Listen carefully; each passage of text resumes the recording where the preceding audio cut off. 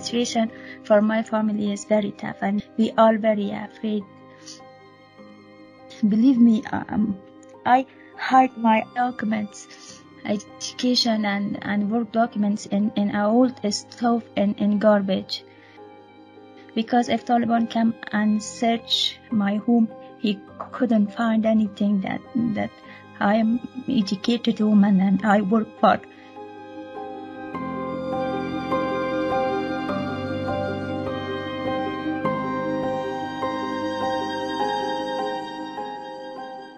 I remember the worst part about leaving Afghanistan. The hardest part was as the plane took off, my heart broke for the country I was leaving behind.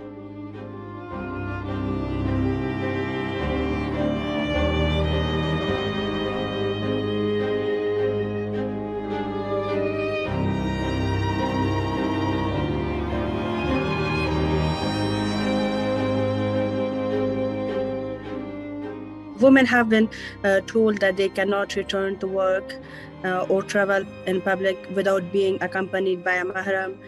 And above the age of 12 uh, and grade 6 and above, girl, uh, above girls are not allowed to go to school.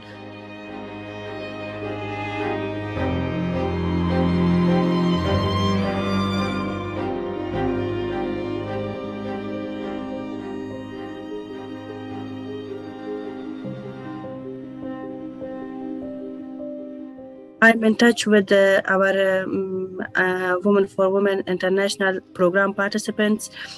Uh, they were so much uh, scared when uh, newly the Taliban came uh, and took control over Afghanistan.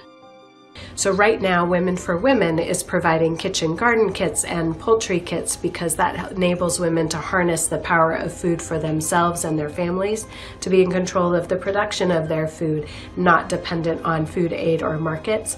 But we also need the international community to release the absolutely critical funding that's needed for a wide scale, comprehensive response to the food crisis that's raging in Afghanistan.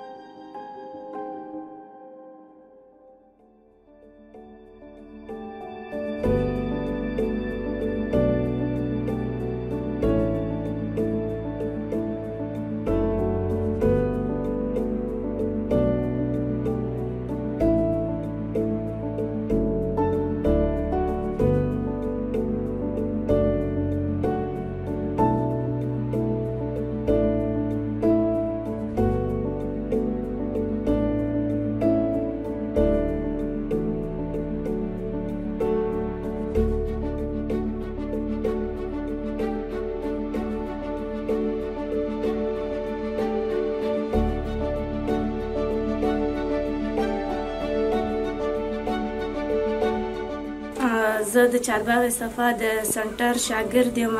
کله چې دا نوې حکومت راغی ټول ځایونه بند شو مونږ ډیر خفه وو. کله چې بیرته دا سنټر شروع شو مونږ ډیر خوشحال شو. دلته چې راځو یو بل ګورو او درس هم زده کوو. خپل د کورنۍ اقتصاد سره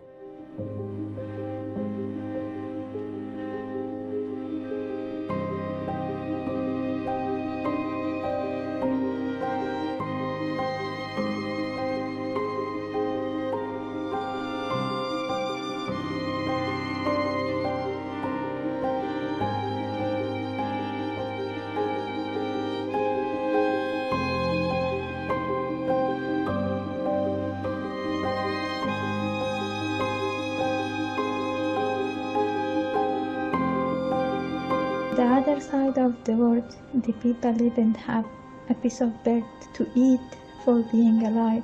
It is hurting for me and it's really hurt me. Why, why a world can see these people? Why world can, can listen to these people?